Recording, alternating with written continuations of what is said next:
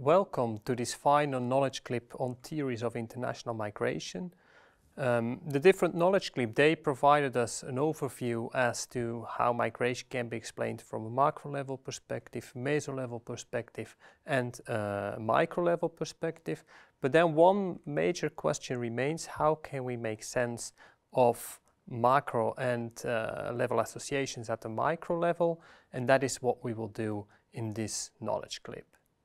So what we do in this uh, video is to dive a little bit deeper into how micro level mechanisms can explain macro level dynamics, which is kind of the essence of the more integrative approaches that have been discussed in previous knowledge clips. Think about social network theories uh, or the migration transition theories. And we start here from the idea from Coleman, a famous sociologist, who formulated something that is being called the Coleman's boat. And that is the idea that once you are interested in a certain macro level association, uh, as you can see, so there are some social facts at the macro level, and there is an association with a certain social outcome. Think about, uh, let's say, um, there is a change in the migration regime in a certain country, and then you see either an increase or a decrease in international migrants heading towards that country. Then the question is, why is that really happening? What is the mechanism that lies behind this and can explain all of this? And according to Coleman, we have to look always at the micro level if we want to explain such macro level association. And we do that first of all by looking at the situational mechanism, namely how macro level changes can affect on the individual level the motivations of people. How do certain changes in the environment impact on micro level motivation.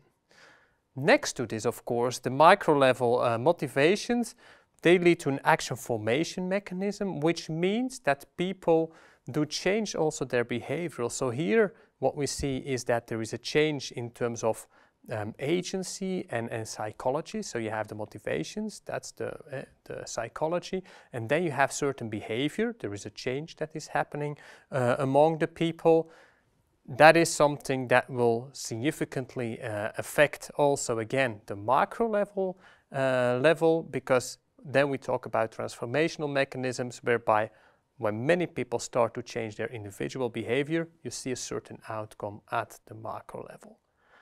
Now all of this might sound a little bit of abstract and that is why uh, we go through the graph again uh, but this time with an example formulated by Godfried Engbersen um, and colleagues on international migration in the Netherlands.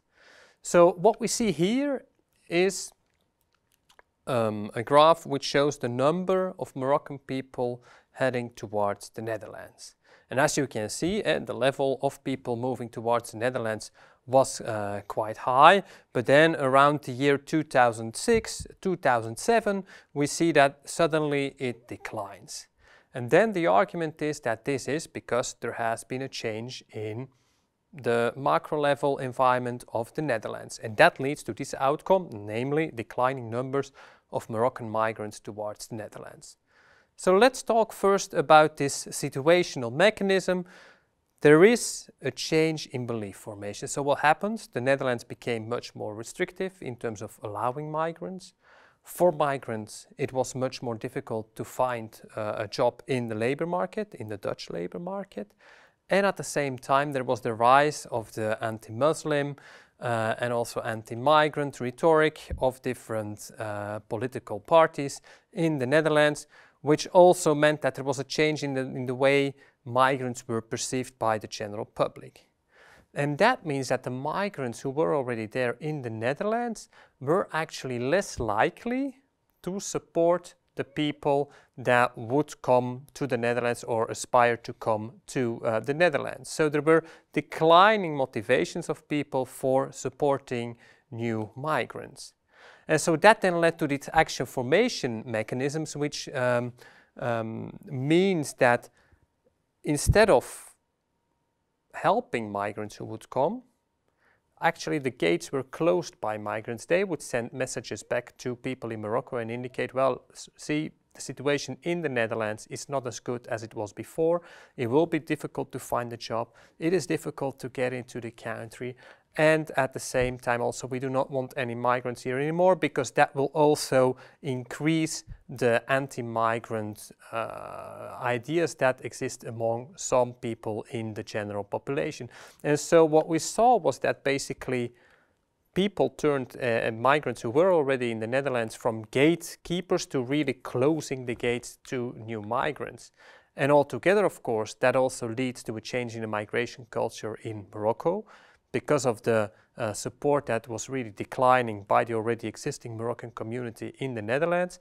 That then led to yeah, fewer people that were migrating from Morocco to the Netherlands, which then is the transformational mechanism, namely that the migration culture in Morocco changed because of this macro level um, mechanism that I just described. So Coleman's boat is something that you can think about as a very um, interesting tool for whatever macro level association that you want to investigate, be it between uh, changes in policy and support for, uh, for artists um, or anything else, or changing um, behavior in terms of diet of the general population. Coleman's boat can be applied to many different situations, but so also for international migration, and then particularly as to explain why certain, how we can explain certain macro level associations through a micro level mechanism that gets back to the macro level. Thank you for watching this video. I hope you enjoyed it.